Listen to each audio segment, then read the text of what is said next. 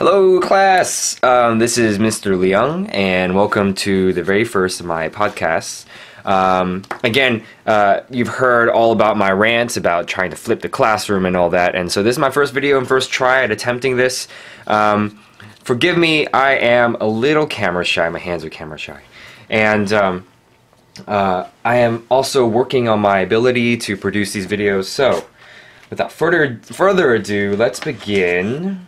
Um, and feel free to stop this video whenever you need to.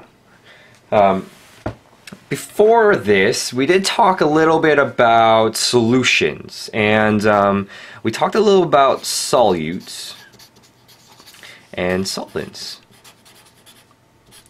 We know that solutions are basically made of solutes and solvents. So, for example, we had some sort of cup of water, and we had some sugar, and we were just craving uh, sugar water one day. We decided to dissolve the sugar in the water, H2O. We know that um, our solute would be the sugar and that our solvent would be the water because we are dissolving the sugar in the water. The solute is usually the one that's being dissolved in the solvent. Um, oftentimes you can think about it, a good way to think about it is that the solute is the one of the least concentration um, while the solvent is the greater. Um, and we also talked about how um, sugar, we know that sugar disperses pretty evenly in um, water, and we call this, if it is able to dissolve, um, soluble. Okay, but let's say um, we decided instead of putting in sugar into the water, we put in some quarters. Okay, these quarters are not going to dissolve in water here.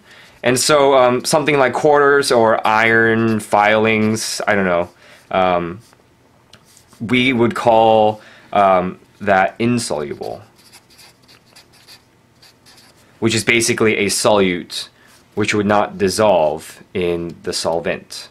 Okay, would be insoluble. Okay, that's just a review. Um, but the big question I wanted to ask and wanted to answer today is to look at how do we measure concentration. Okay, because basically um, what we're essentially doing is concentrating a certain amount of solute in a solvent. When we put in sugar, and we can keep on adding sugar and just make it more sweet. Okay, um, and just for a formal definition of concentration, concentration is the amount, or yeah, I'm just gonna amount of solute in a solvent. Okay, we want to know how do we measure the concentration of a solution? Well, one of the most common ways of measuring the concentration of a solution is through what we call molarity. Okay, this is the most common common way that we measure concentration. Okay, um, and what essentially well we can represent first of all molarity with a big M. Make sure that you always represent molarity with a capital M. Okay. And uh, what essentially molarity is, is the moles of solute over liters, liters, not milliliters, liters of solution. Okay, pretty simple. For example, let's say um, we decided one day we were making some sort of cleaner, and we decided one day we would dissolve 10 grams of sodium hydroxide in um, 0.100 liters of our cleaner solution.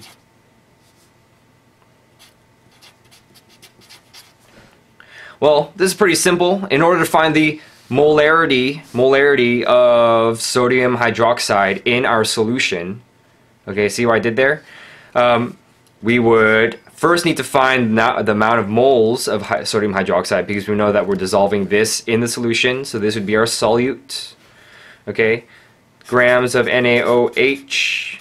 Um, there are 40 grams of NaOH for every one mole of NaOH. Here I'm using our mole ratio it turns out to be 0.25, did I do this right? Yes. 10 divided by 40 moles of NaOH. And finally, to get our mol molarity, we have our moles of solute and our liters of solution. Just plug in the number 0.25 moles of NaOH over 0.100 uh, liters liters of solution. Oops, sorry, of solution, and we will get uh, 2.5 molar.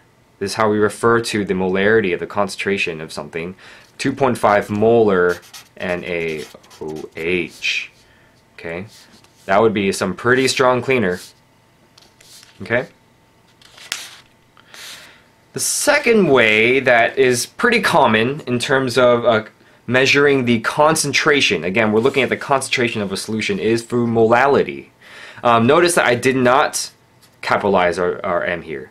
In this case, molality is represented by a lowercase m. Okay. It is not uh, used as often as molarity. Molality, molarity sound very similar. Okay. Good way to remember that is that one has one L, another one has two L's. Molality is simply the moles of solute over kilograms of solvent. And it's pretty simple. I'm not going to do a practice problem for this. Um, basically, if we had the same example, we would just say uh, 0.1 kilograms of solution. Okay. It's just another way of measuring the concentration. And then in this case, um, because let's say if we had a solid and we really it was really difficult to measure the um, the volume of the solid, okay, we can use kilograms, measure it in terms of weight, okay, and get our molality from that. Okay. So those are two common ways of measuring the concentration.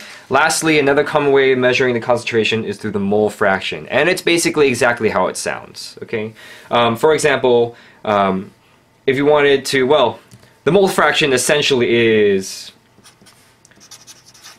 moles of moles of a component over total moles. of solution.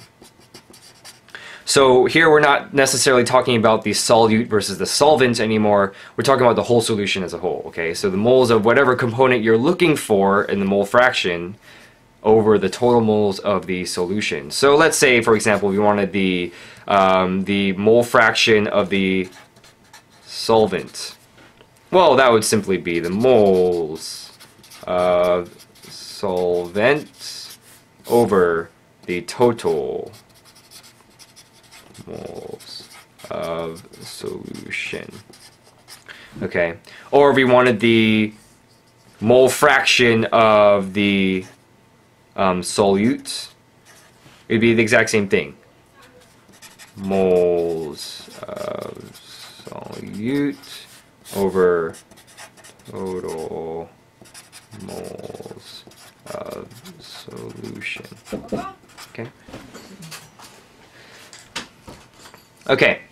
Um, and lastly, uh, there's an interesting intrinsic property here. If we were to add the uh, mole fraction of solvent and the mole fraction of solute, what do you think we would get? And if you said 1, you would be correct. We would get 1. Okay. Uh, here's a little practice problem for you to try out and to come to class with the answer with. Um, in terms of the mole fraction, what is the mole fraction of sulfur dioxide, SO2, an industrial exhaust gas containing 128 grams of SO2 dissolved in every 1500 grams of carbon dioxide? Okay, the first thing to do is to is to recognize which is the solute and which is the solvent. I'll leave that up to you.